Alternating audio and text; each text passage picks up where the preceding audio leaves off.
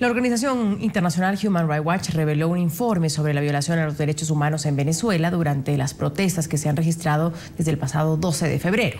Según el documento, miembros de las fuerzas de seguridad venezolanas han golpeado y disparado a multitudes que no están armadas. Nuestra corresponsal en Washington, Diana Castañeda, tiene reacciones a este informe. Diana, muy buenas noches. Hola, muy buenas noches. Efectivamente, este informe de la organización Human Rights Watch detalla en más de siete páginas las violaciones a los derechos humanos que desde el pasado febrero 12 ha cometido el gobierno de Venezuela en cabeza del presidente Nicolás Maduro en contra de la población civil. Este informe muestra el uso ilegítimo y también ilimitado de la violencia en contra de las personas que salen a protestar a las calles en Venezuela. Asegura que el gobierno está patrocinando grupos armados que salen a disparar a las calles indiscriminadamente.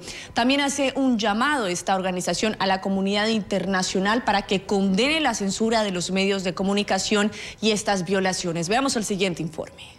Human Rights Watch ha recibido múltiples denuncias serias de defensores locales de derechos humanos que indican que miembros de las fuerzas de seguridad venezolanas, en particular de la Guardia Nacional Bolivariana, han golpeado y disparado a manifestantes que no estaban armados desde el 12 de febrero, tanto en Caracas como en otras partes del país.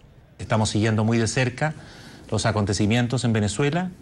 Hemos podido registrar en estos días, eh, a partir del 12 de febrero, eh, eh, actos de eh, violencia policial, de brutalidad policial, tanto de la policía uniformada como de grupos privados armados, que han sido hasta ahora tolerados por el gobierno de Venezuela, por las autoridades de Venezuela